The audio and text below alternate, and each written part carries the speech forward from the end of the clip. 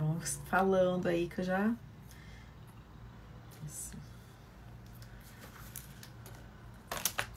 E aí, boa noite, boa noite, boa noite para todos. Vão chamando aí os coleguinhas, vão chamando, clicando aí no aviãozinho para chamar bastante gente aqui para nossa live. E vamos que vamos, né? Coloquem bastante corações para deixar a live relevante. Vou deixar a live salva, geralmente fica salva aqui por 24 horas. E depois eu deixo lá no YouTube, tá? Como de costume, ok?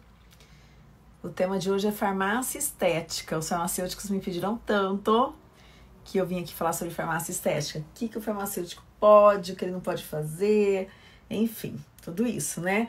Para você que é farmacêutico e não está na estética, para você que é farmacêutico e está na estética e tem algumas dúvidas, para você que já é pós, está fazendo pós-graduação conosco, também tem dúvidas, então vamos chamando aí o pessoal, vamos bater muita gente aqui hoje, hein?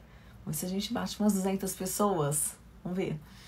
Vão chamando, vai mandando aviãozinho. Espera que até que a gente, pessoal entra, eu vou mandar meus aviãozinhos aqui também.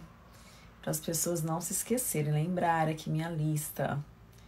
Porque, né, depois as pessoas falam, ah, eu queria fazer uma pergunta. Aí perguntas, respondo mais ao vivo, né? Mas legal. Então, vamos lá, tirando todas as dúvidas, né? Falar um pouquinho sobre essa área maravilhosa que é a área da, da farmácia estética. O pessoal tá pedindo para falar da enfermagem estética, eu também vou falar, mas não hoje. A gente vai fazer uma live semana que vem da enfermagem estética, tá? Outra live, porque eu vivo fazendo, não é? Vou fazer mais uma. Oi para todo mundo, vamos mandando aviãozinho aí. Vamos encher de gente aqui nessa live, hein?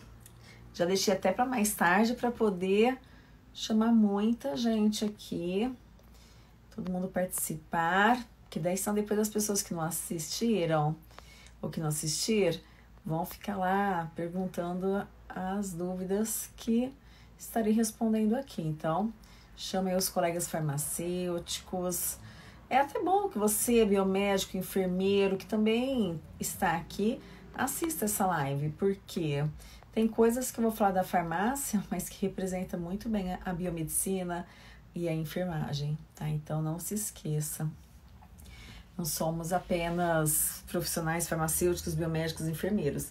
Eu falo que somos estetas, estetas do Brasil. E estamos aí, olha, trabalhando para que nossa área seja reconhecida e que a gente tenha um grande, assim, um potencial ainda maior do que já estamos, que já temos, né? Deixa eu avisar aqui o pessoal do meu, do meu WhatsApp. Vai ficar tocando aqui, fechar esse WhatsApp aqui, né? Pessoal do Telegram também. Você já faz parte do meu grupo de Telegram? Se não, entra na bio aqui em cima, depois que acabar a live. Vai lá, se inscreva no Telegram. O Telegram é muito, muito, muito infinitamente melhor do que WhatsApp. E lá eu tenho o canal, e no canal eu posto várias coisas, converso com o meu público bastante. Ba bastante. Obrigada pela profissional maravilhosa. Muito obrigada.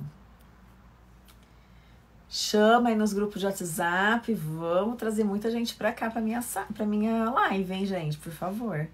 Agora que esse negócio da quarentena, minhas lives sempre foram de quinta-feira à noite. Bombava aqui de gente. Agora que esse negócio da quarentena, tanta live, tanta concorrência aí, né, de live, que as pessoas ficam ali selecionando. Espero que gostem aqui da nossa. Mas vamos lá. Bom, eu sei que vocês vão fazer perguntas, podem fazer perguntas aqui no chat mesmo, que eu acho que é melhor. Eu vou respondendo aqui durante a live. Qualquer coisa eu bloqueio aqui e abro as perguntinhas lá embaixo, mas vamos manter por aqui por enquanto. E, bem, muitas pessoas, mas muitas mesmo,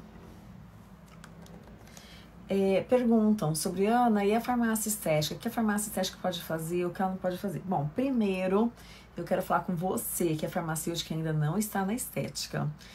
Sei que muitos aqui estão na estética já, são farmacêuticos que estão na estética, mas tem aqueles que ainda trabalham atrás do balcão da, da farmácia, hospitais e desejam mudar de vida, não é? E a estética é, é e a estética é uma possibilidade, a estética é uma grande possibilidade. Né? Antes de tudo, quero falar que os melhores, mas os melhores farmacêuticos estetas são formados pelo Nepuga. Tá? Então, estou muito feliz. E os pioneiros também foram formados, são formados pelo Nepuga, de muitas regiões. Os pioneiros de muitas regiões, mas de muitas, acho que de todas, são aqui, é, filhos da Puga, são formados pelo Nepuga. Então, isso me deixa muito feliz. Inclusive, a primeira associação de farmácia estética que surgiu, surgiu dentro do Nepuga. As meninas que formaram, a Alica, a Natália, foram alunas minhas, elas é, pediram até que eu fosse madrinha da fundação da associação para poder orientá-las. Então isso é muito legal, né? Ver que não só mudaram de vida, mas eu inspirei, né? E elas se inspiraram em mim, na história, na SBBME, em várias situações, vivenciando ali dentro com a gente. E lembrando que a, a biomedicina, e lembrando. Espera só um pouquinho, gente.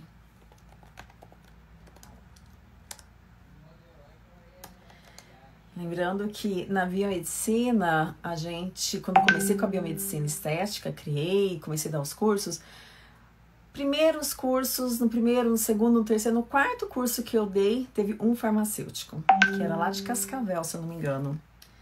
De Cascavel, que ele era, e ele veio fazer o curso. Ele veio fazer o curso comigo em Sertãozinho, olha só.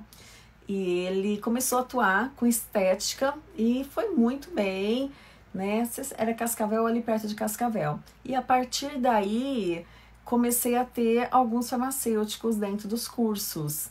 E naquela época, 2011, 2012, o Conselho de Farmácia ainda não havia reconhecido é, esta área para vocês, não havia reconhecido a farmácia estética, pelo contrário. As, eu lembro dos meus alunos falando, ai Ana, o que, que eu faço? O conselho, já falando no conselho várias vezes, o conselho não quer aprovar, não quer aprovar, é, não quer aprovar, é, o que, que eu faço? Peraí, só um pouquinho, gente. A mãe de uma colega minha acabou de falecer. Não foi de corona, tá? Peraí. Deixa dar uma mensagem para ela, né? Que ela falou que não vai comparecer aqui porque a mãe dela acabou de falecer. Meus sentimentos, né? Coitada. Perder mãe não é fácil, não, né, gente? Pelo amor de Deus. Difícil, né? Mas vamos continuar aqui. É, e até perdi, assim, né? O que eu tava falando. E o que a gente sempre. O que eu sempre orientei os alunos, né, principalmente, é muito triste, gente, muito triste que é colega nossa de trabalho, inclusive, tá, pessoal? É mãe de uma professora nossa, tá? Então, tô bem triste. Depois eu falo no privado com quem quiser saber, tá bom? É, é, acontece. Ela já tinha mais de 90 anos, que Deus a tenha, tá? Mas Vamos continuar nossa live. Vamos chamando aí os colegas para a gente falar sobre a farmácia estética. E depois a gente liga prestando lá os, os pêsames, os sentimentos para ela, dando uma palavrinha de carinho, que é a única coisa que a gente pode fazer no momento deste, né? A gente quer estar tá perto, abraçar, ficar por perto, mas mora tão longe também, com tudo isso, a gente não pode nem fazer nada. Isso. E muitos alunos, muitos, mas muitos mesmo, vinham, Ana, o que, que eu faço? O que eu faço? Então, assim, eu orientei bastante, tanto que as primeiras, a primeira resolução da, da farmácia estética, a 573, quando saiu, os, nossa, eu lembro, os, os alunos né, farmacêuticos ficaram muito, muito, muito revoltados, porque não havia colocado procedimento injetáveis, havia colocado a lei. A, iontoforese, sonoforese, toda a parte de eletroterapia, a parte de peelings, a parte mas e a responsabilidade técnica, mas não colocou sobre nada dos injetáveis. e aí deixou bem vago, na verdade, não falou claramente o que era o que não era, deixou bem vago. E isso incomodou bastante os, os profissionais, eu lembro na época. E muitos estavam tendo fazer biomedicina, muitos estavam já querendo mudar de profissão por conta da demora do conselho. Até que em 2013, o Conselho Federal de Farmácia, né, fez essa resolução 573 e ficou 2013, 2014, 2015, até que ela foi suspensa. E aí depois veio a 616, a 616 em 2015, que fala sobre os procedimentos injetáveis. E a, a 616, ela está válida.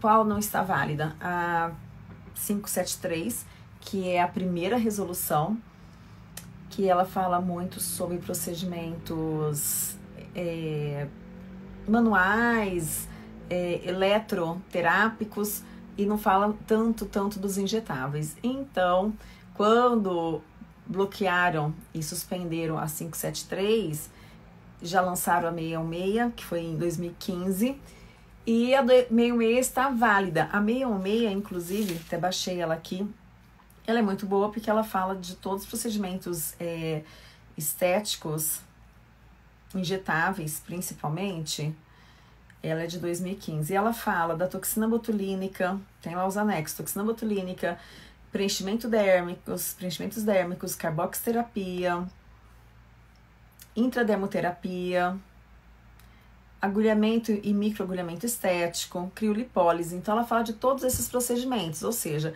o que mais, o, mais, o que mais vocês desejam e querem fazer, né? Tenho certeza, porque eu conheço os, os farmacêuticos, assim como os nossos alunos, eles não veem a hora de fazer.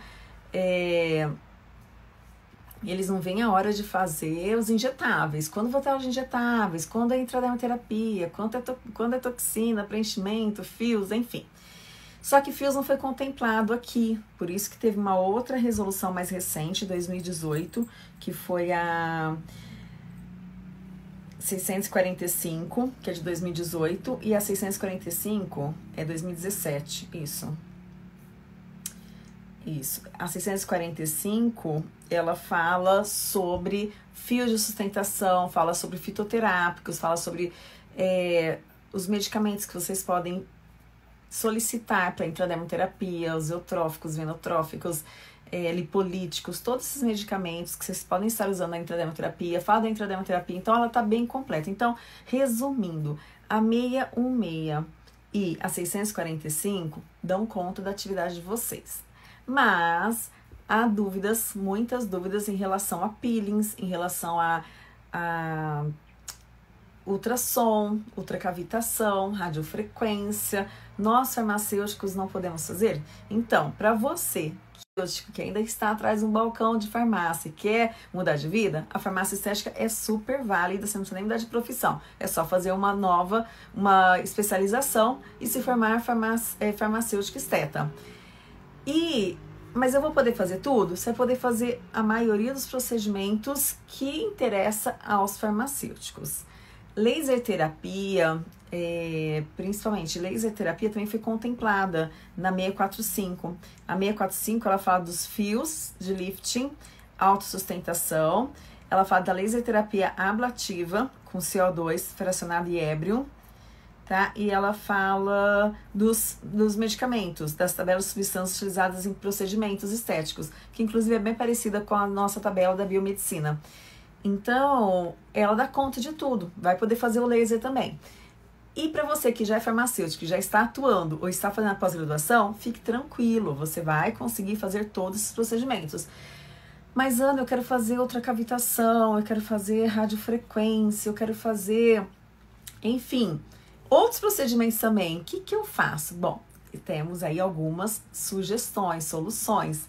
Né? A gente tem, eu pelo menos tenho aí algumas orientações que eu passo para os meus alunos, para aqueles farmacêuticos que estão mais perto, mais próximos, conseguem falar comigo. Lá no grupo do Telegram falo bastante sobre isso e outras coisas. E vocês, é, farmacêuticos estetas principalmente, vocês estão atuando na, na, na, na, no, na clínica de vocês, no consultório de vocês. Então, o importante é vocês estarem com a clínica é, registrada no conselho, pegar a RT dessa clínica para vocês poderem fazer os procedimentos que estão permitidos para a farmácia estética, tá bom? E dentro da clínica você vai poder fazer radiofrequência, ultracavitação e tudo isso. Só que você vai fazer como um esteticista faz. Você vai fazer como esteticista e não como farmacêutico esteta. E vocês podem traba trabalhar como farmacêutico, esteta e esteticista. Mas, Ana, eu não fiz faculdade de estética, posso fazer? Que é outra pergunta que as pessoas me fazem. Olha só, quando saiu a lei do esteticista, recentemente, dois anos atrás, ela não revogou uma outra lei que já existia sobre estética, que é a lei de 2002, se eu não me engano, 2002, que a Dilma assinou. 2002 não, 2012, que a Dilma assinou. Não foi não é tão tarde assim que ela ela não é 2002, ela não era presidente ainda. 2012 que ela assinou uma lei falando sobre esteticista. O que que nessa lei do esteticista fala de 2012? Fala que toda pessoa que fizer um curso é, de capacitação em estética pode ser considerado esteticista, tá? Agora saiu a nova lei do esteticista, que tem que ter a graduação em estética para ser responsável técnico de uma clínica de estética e tem todas lá as classificações. Porém, toda quando sai uma lei nova, ela, ela vale também, só que para ela impedir que a outra continue valendo, ela tem que revogar a outra lei. E a outra lei não foi revogada. Então, ou seja, existem duas leis. Então, nada te impede de também ser responsável técnico como esteticista, tá? Um ponto para você pensar aí como atuar com a radiofrequência, com a ultracavitação, ou então você fica como responsável técnico e contrata um esteticista para fazer todos esses procedimentos é, de radioterapia, de, de é, radiofrequência, ultrassom, ultracavitação e todos esses outros, outros procedimentos porque aí você foca você, profissional farmacêutico, nos injetáveis, nos procedimentos mais avançados e deixa os outros procedimentos com um esteticista. Você tem essas duas opções. Não trabalha sozinha, pode ser um fisioterapeuta, pode ser um esteticista, pode ser um biomédico, enfim. Você não precisa, às vezes, fazer tudo sozinho. E os peelings? Numa dessas resoluções, se eu não me engano, a, a de a mais recente, que eu li as duas, né, hoje durante o dia. Nessas duas resoluções, eles falam dos peelings também, nessas novas, a 645 e a 616. Fala de peelings também, tá? Que o farmacêutico pode atuar com peelings. Então, tá contemplado nessas. É, quer ver? Eu acho que fala, quando fala de substâncias, eles falam dos peelings também. Deixa eu ver aqui, ó. Peelings químicos enzimáticos biológicos, incluindo tretinoína, ácido retinóico a 0,1% a 5%, uso domiciliar e até 10% para uso profissional. Tá igualzinha essa lista, tá igualzinho da biomedicina, gente. Igualzinha. Ainda bem, né? Fizemos tudo muito parecido. Olha só, porque a nossa já tinha saído. Inclusive, essa lista de medicamentos, a gente escreveu pela SBBME um dossiê de medicamentos. Esse dossiê de medicamentos foi para o Conselho Federal de, de Biomedicina, pelo regional, depois para o federal, e ali contemplava todos os procedimentos estéticos e todas as substâncias que nós, profissionais da saúde, biomédicos no caso, é, precisávamos ter liberado para atuarmos realmente com as intradermoterapias com a toxina botulínica, com os preenchedores. Então, eu, junto com outras pessoas da SBM, fizemos um super levantamento dos, dos medicamentos, fizemos um dossiê de medicamentos e levantamos todos esses tipos de medicamentos, apresentamos para o nosso conselho e aí foi onde nas, sai, é, surgiu a nossa resolução para substâncias, tá? Respondendo vocês, daqui a pouquinho já respondo. Então, aqui diz que vocês podem utilizar peelings enzimáticos, biológicos e incluindo é. Eu não entendo de verdade, gente. Eu não entendo que vocês não possam fazer peelings. Eu entendo que vocês podem. Podem mesmo, está escrito aqui. Não está falando que vocês só podem manipular. Está falando que, olha só, o profissional farmacêutico legalmente habilitado em estética poderá fazer a escolha autônoma para o uso de substâncias em conformidades com a tabela abaixo. Ou seja, vocês podem usar todas essas substâncias, incluindo os peelings. Tá? Hoje eu conversei com uma farmacêutica, ela falou assim, ah, é que eu tenho uma biomédica que é minha sócia e ela que é responsável, porque nem peeling eu posso fazer. Eu, aí quando eu li aqui, eu não tive tempo de falar com ela, não sei se ela está aqui na live ainda, mas quando eu é, li aqui, eu falei, gente, lógico, farmacêutico pode fazer peeling, está escrito aqui. Então, se algum conselho, conselho de regional de farmácia, que diz para você, que manda lá o teu e-mail e eles respondem que você não pode fazer, peça para eles te mostrarem onde está escrito que você não pode fazer, porque na resolução 645 de 27 de julho de 2017 está escrito que você pode usar para fins estéticos essas substâncias, inclusive peelings, inclusive ácido retinóico, isotretinoína, uh, que é o ácido retinóico. Então, Pode sim. Quanto à responsabilidade técnica, sim, vocês podem ser RT de clínicas, desde que seja clínicas que ofereçam atividades que estão em conformidade com a atuação de vocês, farmacêuticos estetas, tirando a resolução 573, tirando a resolução 573, que lá fala da radiofrequência, do ultrassom. Deixa eu abrir aqui a 573 para ler para vocês. Vocês já devem conhecê-la, né? Mas Espera aí. 573. A 573, ela fala justamente, olha só, é,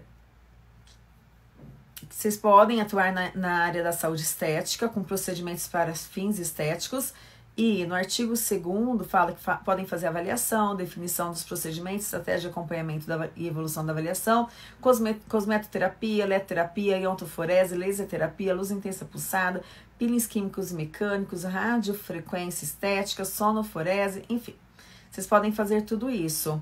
E podem ser responsável técnico é, pela clínica que você, que você atua tá? Mas essa resolução ela foi suspensa e ela foi liberada, liberou a responsabilidade técnica, mas não liberou os procedimentos estéticos, porque na época quando colocou que eu li essa resolução, quer ver que ela é de quando? 2014, 2013. Quando eu li essa resolução, juro, eu falei, caramba, cometeram um erro que não deveriam ter cometido. Se me permitam fazer uma, uma crítica, tá? Agora eu estou aqui como crítica.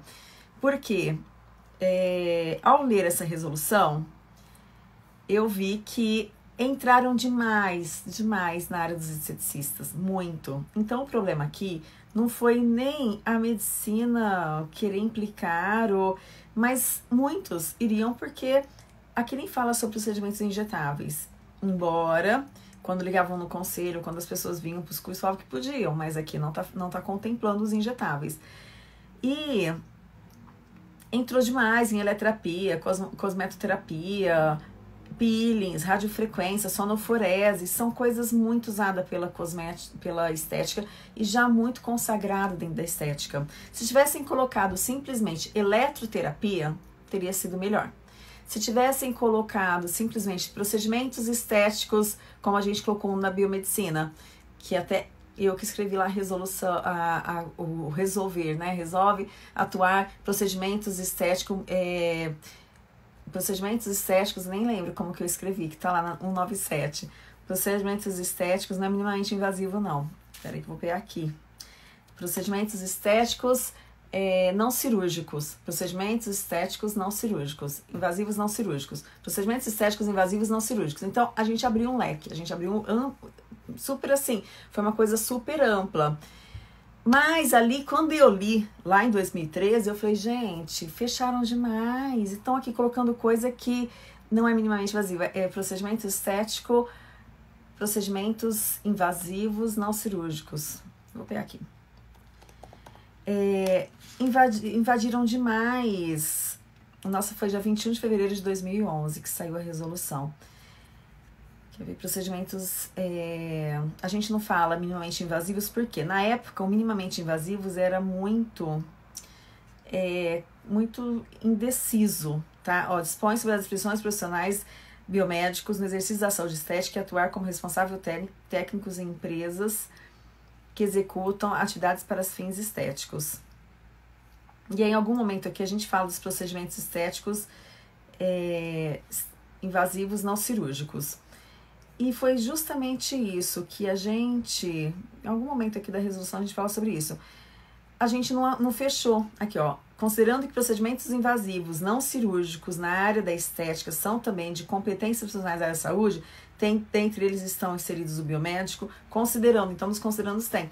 Desta forma, a gente nunca teve nossa resolução 97 barrada, graças a Deus, né? A gente já teve aí tentativas, mas graças a Deus a gente conseguiu, dentro dessa nossa linha de defesa, defender a biomedicina estética como realmente uma atuação sem intenção nenhuma de fazer o que o médico faz no tratamento das doenças. Aqui a gente lida com estética, aqui a gente lida com paciente sadio, recuperando, regenerando o tecido, promovendo saúde estética, melhorando a autoestima, tratando o biopsicossocial. Então a gente não está de forma alguma invadindo competência de nenhum outro profissional da saúde, principalmente área médica que tem por obrigação tratar as doenças. A gente não fala de doenças, a gente não atua durante, dentro das doenças, a gente não faz é, é, consulta e, e, identificação de doenças ou diagnóstico, nada disso. A gente trata paciente sadio, né? Isso é muito importante. E na farmácia, quando entrou, mesmo levando para fins estéticos, então a briga não foi tanto da, da medicina, deu essa conotação e isso ficou meio emperrado ali. Até que em 2014, foi isso, né? 2015, saiu a 616, falando dos procedimentos injetáveis, foi ótima.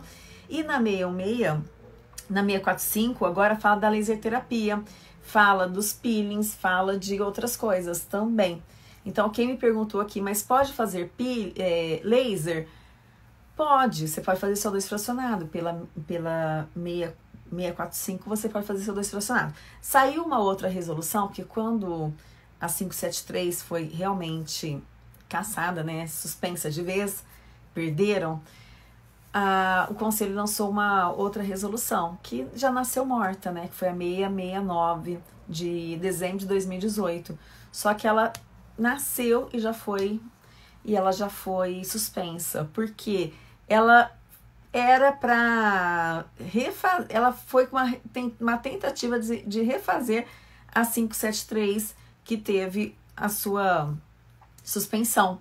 Então, ela fala sobre procedimentos estéticos que estavam já suspensos lá na 573. Então, quando ela saiu, ela já foi caçada e ela já foi suspensa. Então, essa vocês nem podem nem devem considerar, tá? Vocês devem considerar a 616 e a 645. Estamos aqui para falar de soluções, porque a gente já sabe que está caçado.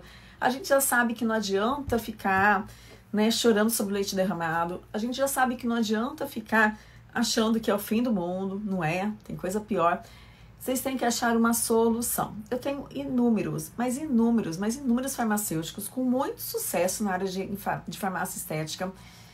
Alguns também que já são até professores conosco e que têm a clínica trabalhando normalmente, realizam seus procedimentos estéticos muito bem os injetáveis, a laser terapia de CO2 fracionado, faz tudo o que eles querem fazer com intradermo, com é, toxina, preenchimento, fios, microagulhamento, laser. Aí perguntaram sobre, é, sobre a canetinha, sobre o, o jato de plasma, sobre essas coisas. Eu entendo que isso está no mesmo nível da laser terapia do CO2 fracionado. Eu, Ana Carolina, não recomendo que jamais em uma resolução tenha o que teve nessa, até nessa 645 aqui, que fala do laser. Anexos falando que tipo de laser vocês podem fazer. Deveria ter feito só laser terapia, ponto. Não precisaria ter especificado CO2 fracionado, Ébrio e qualquer outra coisa. Isso foi uma recomendação minha lá em 2010, 2011, quando eu fui escrever a resolução junto com o conselho, porque eu defendi, depois alguém tinha que resolver, escrever a resolução. Então, todos esses resolves que tem na resolução 97 são resolve, é, esses considerando, considerando, considerando, são considerandos que eu, junto com o meu advogado, a gente escreveu lá na minha defesa da biomedicina estética lá atrás, em 2008, 2009, e depois ele serviu como base para formar a resolução, tá? Porque a gente levantou todo aqueles considerandos para poder fazer, é, para defender a minha, né, e a biomedicina estética, a minha atuação e a biomedicina estética. Então, quando formos escrever essa resolução, que foram me perguntar, não vou dar nome dos bois porque não precisa, mas que foram me perguntar que, que a gente vai colocar na resolução? Eu falei, eu mesmo falei, o mais simples possível, tem como? Sem ficar descrevendo o que, que são esses procedimentos, porque uma vez que a gente descreve, amanhã não existe mais o procedimento, eu vou substituir pelo quê? Aí vai ter que fazer uma outra resolução falando dos outros procedimentos. Então eu entendo que não poderia. Eu, tá? Eu preferiria que não tivesse colocado, tivesse deixado aberto laser terapia, porque tudo que tiver embaixo do guarda-chuva de laser terapia vai poder ser feito. Não precisa especificar, tá? Então, agora, lá como está especificado CO2 estacionado e ébrio, eu tentaria fazer uma, uma correlação, porque o plasma e outros eletrocauter, plasma e todos esses procedimentos são muito precisos com CO2 fracionado. Então tem uma similaridade. Se está liberado para CO2, por que não pode liberar para os outros? Então, tentaria ir por esta via, tanto no conselho ou quanto em qualquer outra instância que quiser paralisar vocês ou impedir que vocês atuem, tá? Eu vou responder as perguntas, tá? Agora, eu vou responder. Só deixa eu falar mais uma coisa antes que eu me esqueça. Tá? Então, para vocês que já estão formados, atuados, atuando, já estão pós-graduados, já estão, já são, é, já são farmacêuticos estetas, vocês continuem atuando. Se vocês puderem ter outras pessoas trabalhando com vocês, um fisioterapeuta, um biomédico, poder fazer outras coisas, isso é bom, não só na questão de realização dos procedimentos, né? Mas sim, comercialmente falando, pensando em negócios, você amplia teu negócio, tem mais pessoas trabalhando com você, você não está sozinho. Então, você acaba aumentando até a sua atuação. Ao invés de você atender uma pessoa por hora, você atende duas por hora, três por hora, porque você tem mais pessoas trabalhando com você. Então pense também numa forma de aproveitar essa deficiência ou esse problema para vocês crescerem e não ficar só focado, ah, vou ter um consultório só eu vou atender, mais ninguém. Tenta buscar parcerias e ter mais sucesso, assim como muitos inúmeros é, profissionais farmacêuticos formados pelo Nepuga tem, são super bem sucedidos, estão muito tempo no mercado, não tiveram impedimento, não tiveram nenhum tipo de complicação para atuar como estão atuando. Vamos às perguntas, que aqui achei algumas perguntas interessantes. Peraí. É, que, é, doutora, em qual documento fala que está liberado RT? Bom, segundo os, o, o pessoal da farmácia que eu consultei, é a própria 573, que ela ficou suspensa os procedimentos, mas a responsabilidade técnica, que ela já estava liberada, continuou, permaneceu. Então, deixa eu pegar aqui para vocês. A 577, 573 fala sobre responsabilidade técnica, tá? Procura ali saber. E aí depois teve uma penalidade, foi, foi teve todo aquele processo, levou anos para poder seguirem e aí teve uma conclusão nesse processo. Nessa conclusão, os procedimentos saíram e a responsabilidade técnica permaneceu. Se tiver algum farmacêutico aqui, quiser, né, não sei se o Gilmarcio tá aqui ou a a, a 617, a 616, 616 também fala sobre responsabilidade técnica. E a 573 ficou totalmente suspensa. Acabei de receber aqui, totalmente suspensa. E a 616 que tá falando sobre responsabilidade técnica. Até eu tô com ela aberta aqui, olha. Peraí, gente, porque eu fui estudar, né, a resolução de vocês para poder é, falar tudo certinho. A 616, ela fala sobre atribuição farmacêutica, atuação em estabelecimentos de saúde estética, técnica de natureza com recursos terapêuticos é, especificados nos anexos nesta resolução. O farmacêutico é capacitado para exercer a saúde estética desde que preencha os seguintes requisitos. Aí está falando sobre pós-graduação lato senso, não pode ser curso livre, curso de extensão, tem que ser pós-graduação lato senso. É, outra coisa, que comprova experiência de pelo menos dois anos e egressos, é, egressos eles nunca aceitam, né? E que comprova experiências de dois anos foi só por um período. Depois eles agora, agora estão exigindo a, a pós-graduação mesmo. E ainda fala sobre, deixa eu mostrar aqui, em função da qualificação no artigo 3 em função de sua qualificação para o exercício da saúde estética, o farmacêutico nos estabelecimentos de saúde estética, sob sua responsabilidade, é responsável pela aquisição das substâncias e dos equipamentos necessários ao desenvolvimento das técnicas e naturezas estéticas. Então, essa meia, um meia, ela fala também então da responsabilidade técnica. Você que está com dúvidas em relação a, a ser RT de uma clínica, você pode. Mas o que aconteceu? Hoje, eu ouvindo uma outra farmacêutica falando sobre isso, ela fala, Ana, mas as pessoas preferem às vezes um dentista, um biomédico, um, médico da CRT das franquias do que um farmacêutico. Porque o farmacêutico ele não pode ser RT do, da eletroterapia e de alguns lasers. Como que fica? E aí a gente, a gente farmacêutica, ela me dizendo, né? A gente se sente é, assim, sem respaldo do nosso conselho, né? A gente fica eh, na desvantagem em relação à responsabilidade técnica de outras empresas dentro de uma franquia.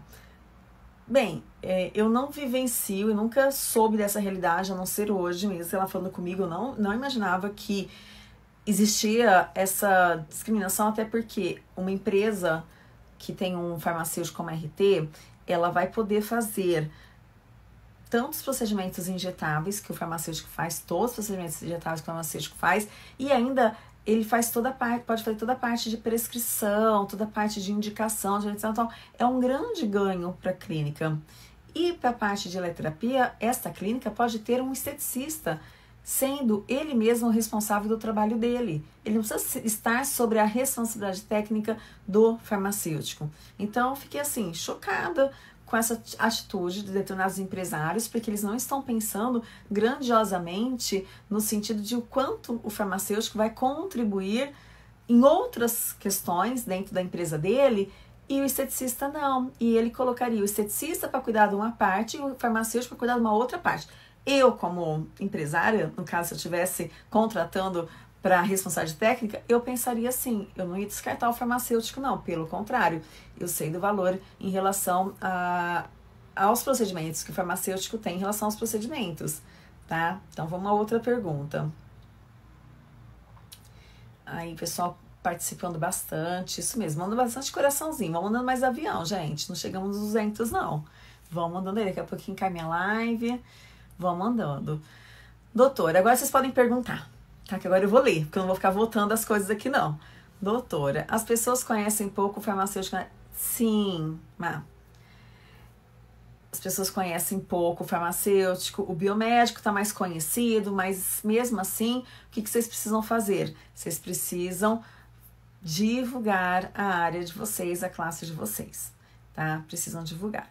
Eu tenho, assim, inúmeros farmacêuticos pioneiros aí em farmácia estética em diversas cidades né, vieram, se formaram, fizeram a pós-graduação, estão com muito sucesso, estão assim desbravando e estão assim colhendo os frutos agora. No começo foi difícil, muito difícil. Imagina 4, 5, 6 anos atrás, muito mais difícil que hoje, mas estão colhendo os frutos agora. Ozonioterapia. Ozonioterapia não faz parte da resolução da estética, de nenhum conselho. Ela é uma resolução à parte. Foi me passado por um grupo que trabalha né, dentro da, do, do conselho na parte de desenvolvimento de novas habilitações e novos, novas, enfim, novas resoluções, que tá para sair a resolução de ozonoterapia para o farmacêutico, mas é uma resolução à parte. Ela não está dentro das resoluções de estética, certo? E não saiu ainda, ela tem que ser publicada. Parece que ela já foi votada, já foi aprovada, mas ainda não saiu a publicação certo? Gente, biomédico não pode realizar a lectomia, tá? Não pode. Débora, depois me chama no inbox que eu quero saber, sério, de verdade, quem tá fazendo isso? Não pode, tá? A lectomia, ela é um procedimento cirúrgico, tá? Então, vamos depois deixar isso para uma outra live de biomédicos. Tem a da enfermagem, depois de biomédicos. Mas para não perder o costume, né, de, de né, colocar as pessoas no trilho mas no bom sentido, para vocês poderem ter sucesso, não é por outra coisa, não, é porque não só vocês, né? A nossa classe, ela tem que ter cada vez mais profissionais bem-sucedidos e com muitos bons resultados. Seja a biomedicina estética, a farmácia estética, a enfermagem estética, a odontologia, que está entrando agora nessa parte de harmonização orofacial. Todos nós devemos ter muito, muitos bons resultados, sermos profissionais de sucesso mesmo, bem-sucedidos, para mostrar a grandeza da nossa área, a segurança da nossa área e para ficarmos conhecidos de uma forma positiva e não de uma forma negativa. Então, é, quando eu fico sabendo de algumas pessoas que estão fazendo o que não devem, eu gosto de ligar, eu não denuncio para conselho, eu não sou dessas. Porque eu acho que né, cada um é cada um. Se eu, eu ligo, converso, tento falar com a pessoa, orientá-la. Se ela se sentir no direito de seguir um, uma orientação, um conselho de quem tá, de quem criou a área e está muitos anos na área, tudo bem. Se ela não quiser, ela vai se ver com o conselho, porque é o conselho que vai fiscalizar e, regula, e regulamentar ou não esse tipo de procedimentos. Mas se tem ponto, se tem corte, se é cirúrgico, o biomédico não pode fazer. Por isso que tem muitos biomédicos indo fazer odontologia, para poder fazer procedimentos cirúrgicos. Porque o odonto pode, o odonto pode, a biomedicina não. Então é uma opção, quem quer estudar mais um pouquinho faz odonto. É... Então, Lid, a eletroterapia ela não está liberada para a farmácia. Ela não está liberada. Você pode ter um esteticista fazendo eletroterapia na sua clínica, ou de repente você pode ser o próprio esteticista, porque você pode ser farmacêutico esteta e esteticista.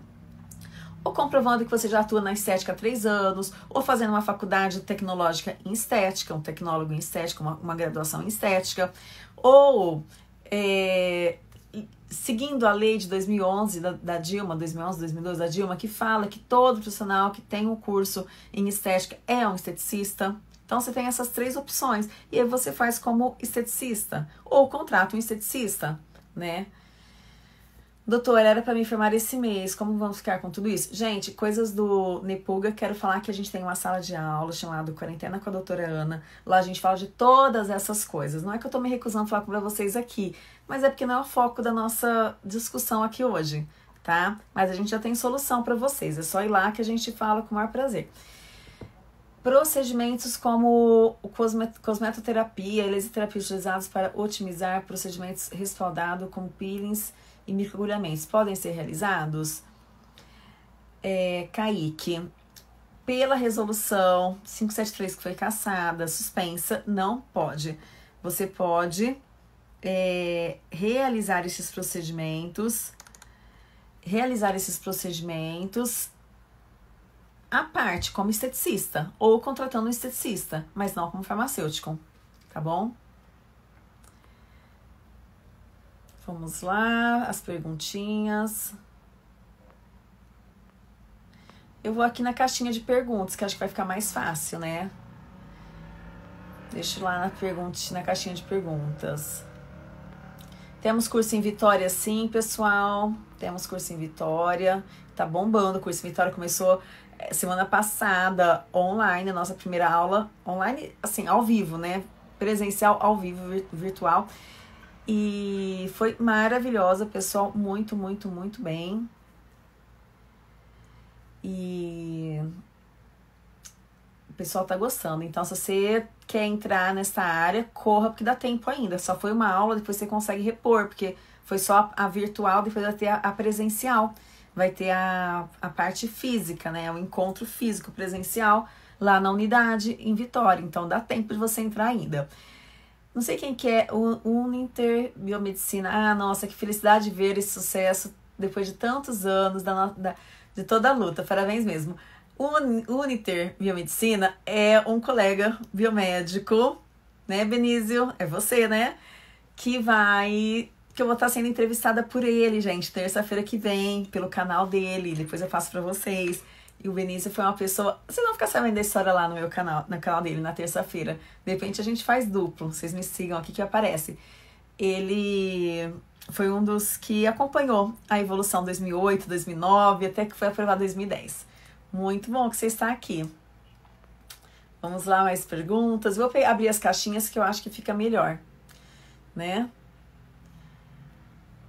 a resolução que foi liberada pela Dilma. Não tem o número aqui, Luiz, mas cê, eu vou procurar. Tô aqui no Google, peraí, deixa eu ver se eu já procuro. É, peraí. Isso tá fácil de eu achar, né? Peraí. É, peraí. É resolução, acho que foi um decreto, alguma coisa assim. É, lei. Peraí.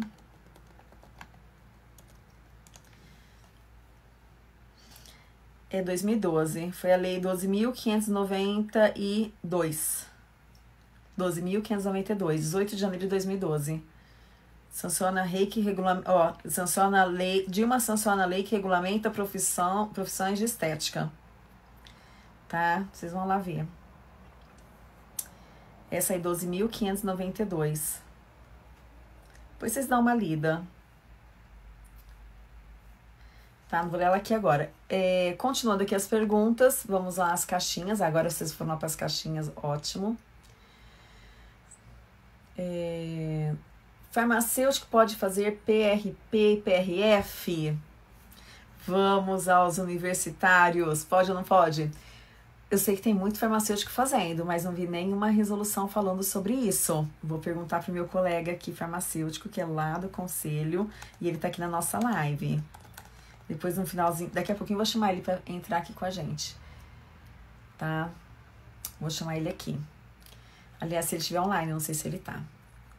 tá. Acredito que não, não tem nem, não li nenhuma resolução, não li nada falando sobre PRP, é, PRF. Tem muito farmacêutico fazendo, mas eu não li nada.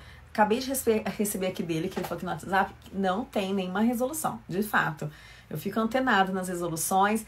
Por isso que eu falei, a da ozonoterapia ainda não foi publicada. A hora que foi publicada, a gente já tem até o curso já saindo para formar vocês em ozonoterapia. Lembrando que nós é, do Nepuga fomos a primeira, a primeira escola mesmo a começar a dar curso de ozonoterapia para profissionais biomédicos, farmacêuticos, enfermeiros, como profissionais da saúde, tá bom? é, para o farmacêutico atuar na ozonoterapia, o que é necessário? Por enquanto, esperar sair a publicação da ozonoterapia, que não saiu ainda, tá bom? Quais os cursos que você aconselha a continuar estu estudando após a especialização? Bom, você tem que ver primeiro o que, que você mais se adaptou, o que você mais gostou, qual é o caminho que você quer seguir, porque dentro da pós tem muitas áreas, né? Tem toda a parte, desde a avaliação, é, um, é uma jornada. Desde a avaliação, a gente vai até a conclusão do curso com todos os procedimentos estéticos permitidos para a classe de todos vocês, profissionais da saúde, farmacêutico, biomédico, enfermeiros, enfim.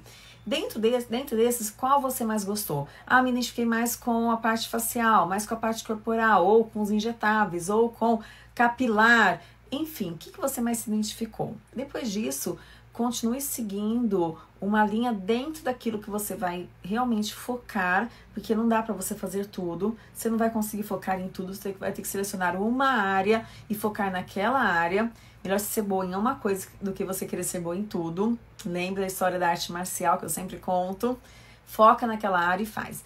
Eu vou te recomendar que você continue conosco. Se você é aluna nossa do NEPUG, que você continue conosco, com a nossa metodologia, com nossos cursos, com os nossos cursos avançados, porque a gente dá uma continuidade, a gente mantém aquela linha de raciocínio, de ensino, de, de é, educação com vocês, para vocês ficarem cada vez mais é, experts no que vocês estão pro, propondo ou querendo fazer ou buscando se especializar. Então, já estão especializados em farmácia estética, agora quer focar em cabelo, em, em, em face, é só você procurar um curso focado nisso. De preferência, o nosso, né? Não vou.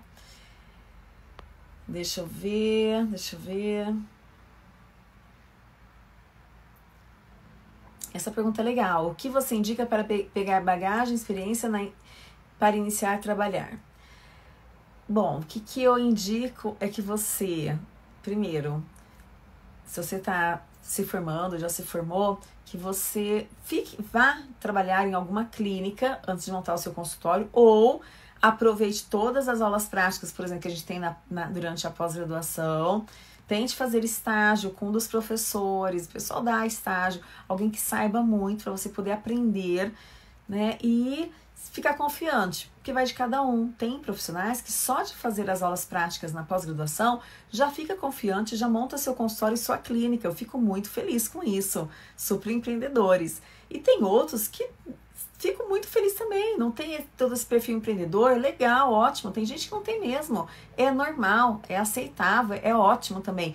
Vai pegar experiência com quem tem mais, vai trabalhar com outras pessoas que já estão mais tempo na área, vai fazer um estágio, enfim tenta ficar ao lado de pessoas que têm algo a te passar. Não queira pegar prática apenas em curso. Em curso, muita gente não tem a responsabilidade que, por exemplo, nós, por uma grande instituição, nós temos. A gente tem a responsabilidade de mostrar para vocês o que é de fato cada procedimento e qual é a aplicabilidade daquele procedimento na sua clínica. E o que dá e o que não dá retorno para você, tanto em resultado quanto financeiro. Só que tem muitos cursos por aí, gente, eu vejo, tem muitos cursos que, pelo amor de Deus, as pessoas só querem vender cursos. Elas só querem saber dar aquela aulinha e pronto. E elas nem mostram a realidade que elas vivenciam nos seus consultórios para vocês. Então, cuidado, onde vocês vão buscar essa especialização ou essa, esse aprofundamento, tá?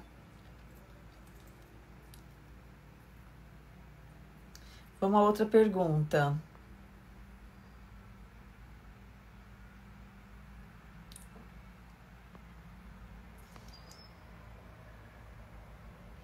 Esse daqui, livro de tricologia. Ai, olha, tem alguns bons.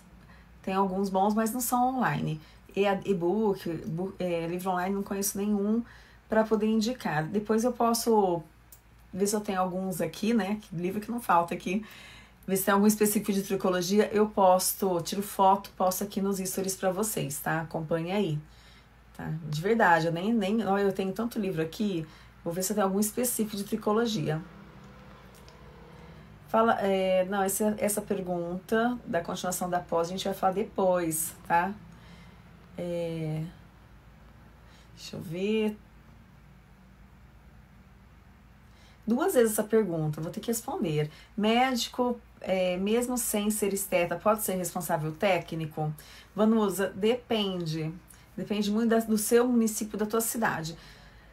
A priori, sim, tá? A priori, o médico pode ser responsável técnico de qualquer serviço de saúde. A gente concorde ou não com isso. A gente aceite ou não isso, né? Eu sou meio... É, eu sou meio assim... Gosto de falar as coisas, às vezes eu até me arrependo de falar, né? Mas eu acredito, eu penso que se eu sou biomédico, estou trabalhando numa clínica, quem tem que ser o responsável por mim tem que ser outro biomédico. A gente sabe que não é assim que funciona. Se eu sou farmacêutico e estou trabalhando numa clínica, o biomédico ser responsável pelo farmacêutico, o biomédico ser responsável pelo enfermeiro, o enfermeiro ser responsável pelo biomédico. Pelo... Então, acho que assim. Dentro da minha compreensão, né, já até conversei isso com os advogados, eu acho que cada, eu como biomédica, estando com a minha clínica registrada dentro do Conselho de Biomedicina e Estética, eu precisaria é, estar, ter só biomédico trabalhando comigo, porque se eu tiver um farmacêutico, um enfermeiro, eu vou ter que registrar essa clínica nesses conselhos também. Eu penso assim. Mas depende muito do município, depende muito da interpretação. E para médico, médico pode ser responsável por qualquer tipo de serviço. Tá? Então, o nosso conselho aceita, por exemplo, se eu estiver trabalhando numa clínica que tem um médico, ele vai aceitar eu estar trabalhando lá. Ele não vai implicar com esse trabalho meu, porque eu estou sob a supervisão de um médico. Tá? É uma coisa que a gente deveria assim discutir, principalmente numa associação, para que a gente poder ganhar força e ter alguma coisa, umas vantagens melhores para nós profissionais da saúde, farmacêuticos, biomédicos, enfermeiros. Não é que eu não queira ter farmacêutico e enfermeiro comigo, óbvio que eu quero. Não é que eu não queira. É que eu acho que tinha secado o macaco no seu galho. Ou, de repente, todo profissional poderia ser responsável técnico por todos, assim como o médico. Por que, que o médico tem uma diferença em relação a nós e nós não? Nós somos brecados, bloqueados. A gente não pode ser responsável técnico para o médico. Então, assim, é muito, muito. Essa questão é muito difícil de ser respondida dessa forma. E que foi a, a outra pergunta que você fez. A mesma pessoa me fez a outra pergunta. É, o médico pode ser responsável técnico? Sim, né? Ele pode ser. Alguns professores dão estágio, sim, tá? É só conversar com eles, não é estágio cobrado, nada disso, eles dão estágio até para vocês poderem aprender. Só que eles vão dar estágio, perguntaram aqui na pergunta, não, não coloquei aqui.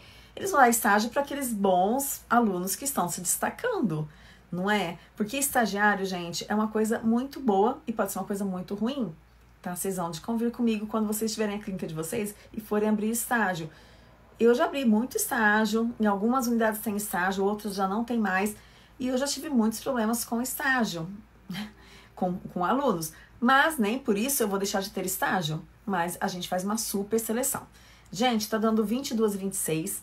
Gilmar, eu sei que você tá aí, acho que a Luciana também tá, que é farmacêutica. Eu vou salvar essa live para ela ficar salva e volto em seguida. Vocês voltem, por favor para a gente poder falar mais algumas coisinhas. Eu quero chamar o Gilmárcio, que ele é do Conselho de Farmácia também. Quero chamar a Lu, se ela estiver online, para a gente só bater um papinho aqui e finalizar a nossa live, tá? E a essas perguntas que vocês fizeram que eu ainda não respondi, eu respondo na próxima, pode ser? Mais meia horinha a gente termina, ok? Então, voltem.